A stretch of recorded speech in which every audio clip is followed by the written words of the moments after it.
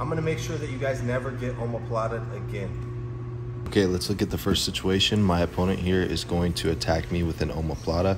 I immediately post my head to the mat and I'm to jump over his head to the other side. As soon as I get over, I'm to look to hug the head and establish side control.